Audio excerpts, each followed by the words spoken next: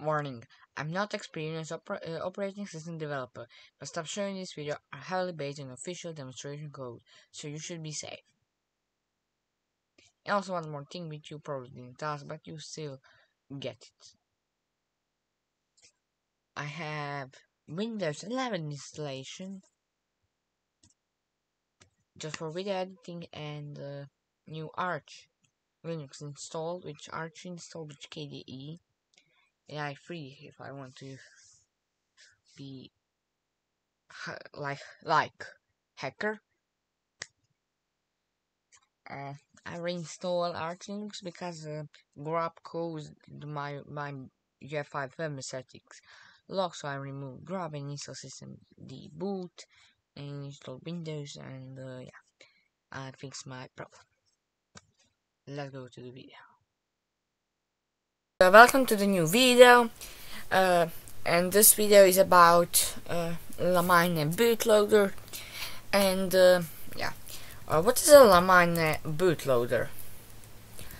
Limine is a bootloader. Okay Limine is um, is a bootloader which is uh, created uh, originally created for Stivale and Stivale 2 protocol but in newer versions, Stivale and Stivale 2 support is dropped. Uh, there is also multi-boot support and their own uh, protocol, Limine boot protocol support. Uh, Limine uh, is written in C, but if we can go here in the uh, bootloader, uh, in the GitHub's organization, there is also a Zig library. There's also Zig library, a Rust uh, library. Uh, and here also I'll uh, Limine is uh, for the Zig. But in this video I'm going to focus on C.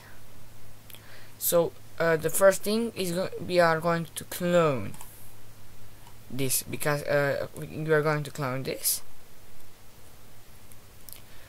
Uh, and here is just a demo code which will print hello world and this use uh, of course uh, Limine boot protocol which is much more cleaner.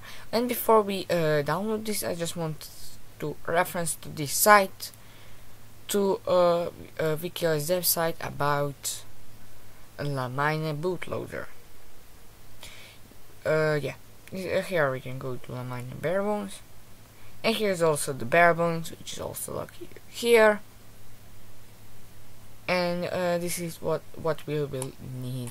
Also uh, here in the little Limine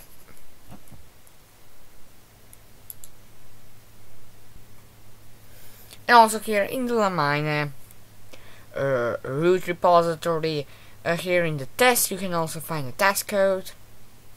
If you want the wallet test code you can go to the history and go to this commit and find all the files. Here are all the files. And here also in limine.c we have this. This uh, which which doing a lot of stuff. Alright so the first thing we are is going to want to open the console term uh, terminal terminal emulator. I use console because this is a KDE default terminal emulator I'm going to make repository uh, let's say the Limine bare bones. Or we can just clone this Limine barebones uh, this Limine barebones uh, repo. You, uh, okay um, it's you can also create a repository, like you can click this, use this template and create your own repo, which is based on this. But let me do to let me open the in Visual Studio Code so you can follow this much more easier. And we have this. So I just want to uh, go to the real recap of the files. Like Limine.config, this is this, this file is really needed so the miner can know the name, the timeout, the protocol, and the kernel path. Uh, this is a GNU make file which will uh, create the ISO for us using xorriso, so you might want to do this. okay uh, I will uh, put all the list of the packages on the end of the video so you can know uh, yeah uh, here is a git ignore which will ignore some files which we don't need. We have also a make file which uh, will generate the uh, the .o file so we'll link it. Uh, nothing special uh, but uh, yeah. Uh, okay let me do cc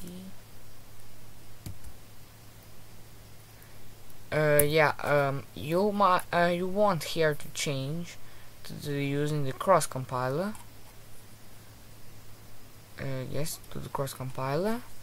Uh, it is recommended to use the cross compiler and, and let's say to the kernel.c so this is uh, the main point. This is where we start which is defined in this linker.ld we don't have too much to do anything here but we can uh, I can say this. Okay we are having this struct which is terminal request. We are getting the request.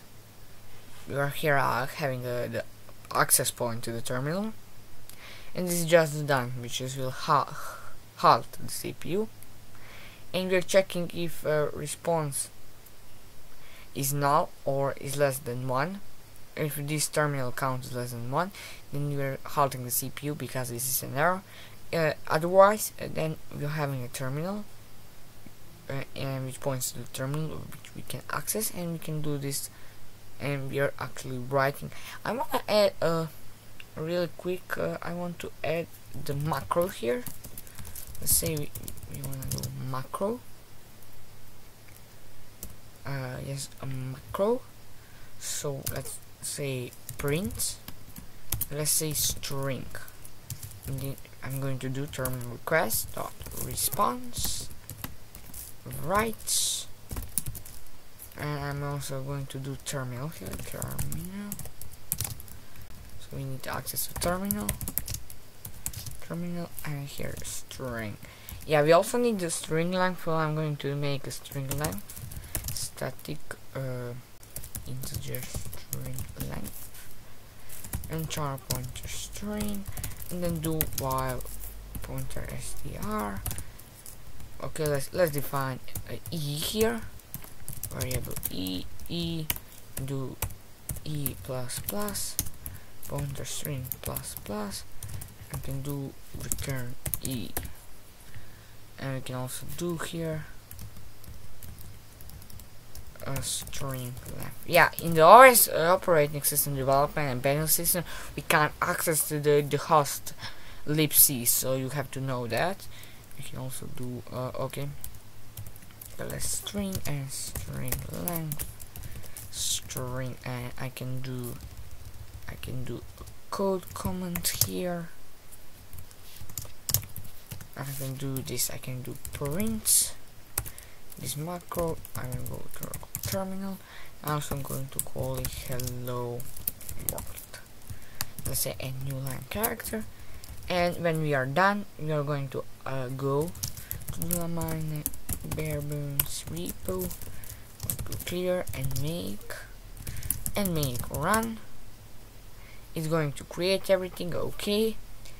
Uh, it's compiled here. So yeah. And you might uh, have a Qemu uh, open the G GTK window but I don't have so I'm going to run tiger VNC connect and here I get the hello world. So this does work. This string length function really does work. And uh, yeah. A few more things which I want to show you is how to add a background so we can add a background. Okay guys uh, after some after I, I saw the GNU make file of RingOS I saw why this uh, config uh, really does not work. Like uh, I'm running it. Okay I'm running this. I'm going and there is no background. Okay why is there no background? Because we not specify here in the ISO I will show how to do this in ISO uh, but you have to figure it out on yourself uh, if you are going to build a HDD so I'm going to make a dir slash p iso root and media like like this one. And then I'm going to copy this. To copy this command here. And let's now try to compile make clean let's try to run it. And we have a background. Very good.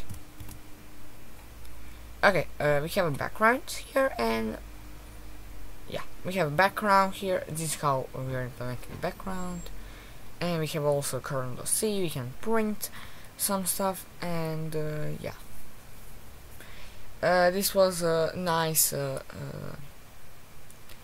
uh, uh, uh, how I will say this this just was a demonstration of the Limine bootloader. Yeah you can for more demo code you can go here on into the Limine repo go to the test folder and find all the files. There as and also as I said all the packages will be on the end of the list. And uh, to install them you can uh, use you can use uh, Pacman if you are on the Arch you can use apt if you are on Debian you can use DNF if you are on uh, on Fedora or any other package manager used for your distribution or for macOS or for Windows. If you have Windows, it is recommended to use WSL. And, uh, and also, uh, I would recommend it to you to use the the the cross compiler. Uh, yes, currently I'm not using here the cross compiler, but I have a cross compiler.